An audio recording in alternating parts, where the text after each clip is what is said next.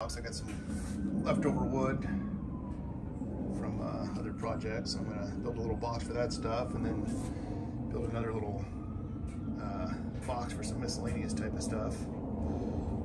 And then uh, build a small little chuck box that's uh, gonna hold the stove, a couple uh, pans, pot, maybe coffee pot, I'm not sure what else kind of making it up as I go along. We'll see how all this works out. And this was upside down. That's great. I'll have to flip that over.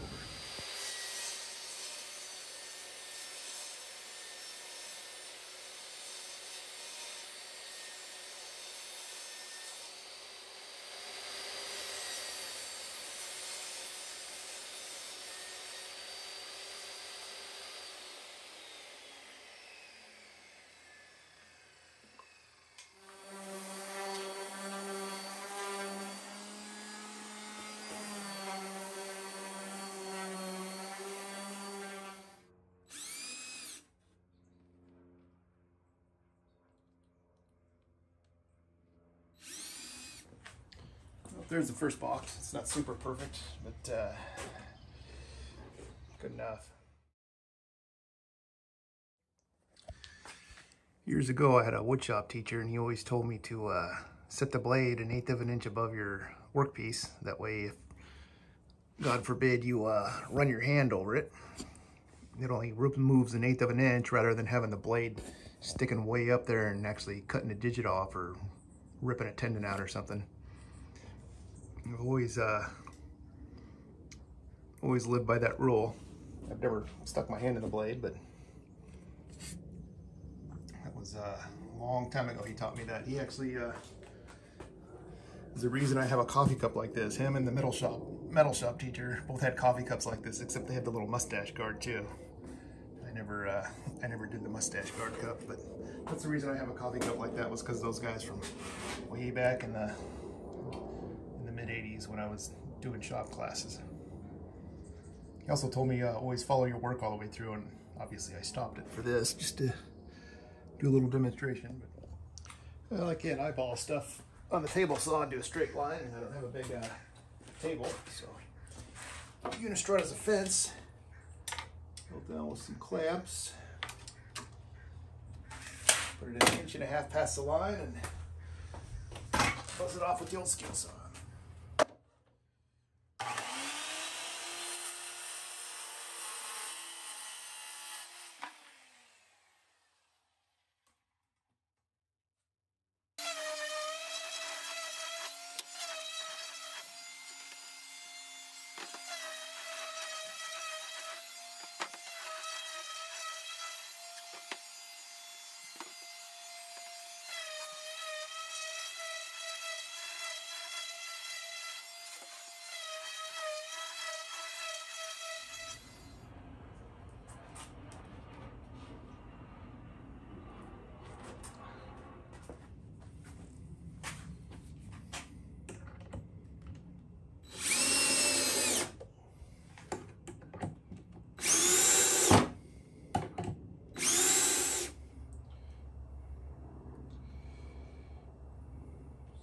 probably not very square, but that's okay. It's good enough.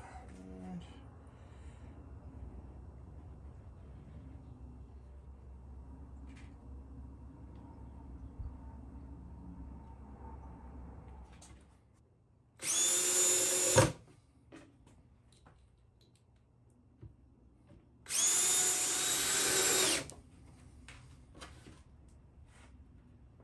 Thank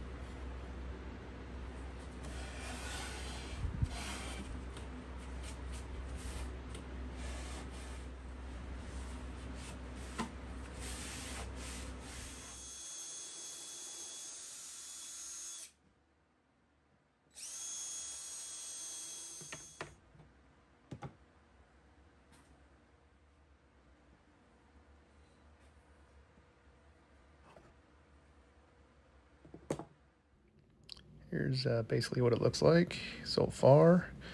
Things will change as I use it, but this is kind of the basic design. The front I was having a hard time figuring out, and I just figured I'd uh, make a table. So that's what I did. I'm on try number two with my uh, build a stand out of wood for my burner so I can get rid of the uh, little green bottles, which are super convenient, but they're pretty wasteful. So, first attempt uh, kind of burned up, and it uh, also wiped the stove out too. So the second attempt is the same exact design, except instead of having a, a larger piece up on the top, I just have two rails for the stove to sit on. I'm just gonna let it sit there and cook for a while, and see what happens. Oh, I let it burn for a while. Uh, the stove is definitely hot. I got my suppliers. The uh,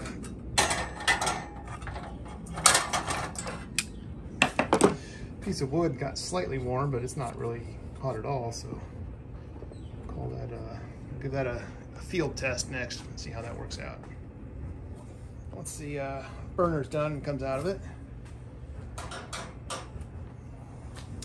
disconnect the uh, bungee cord. Pull these two things out. And the whole thing's on hinges so it lays down flat for storage. And it should fit right in the back end here somewhere.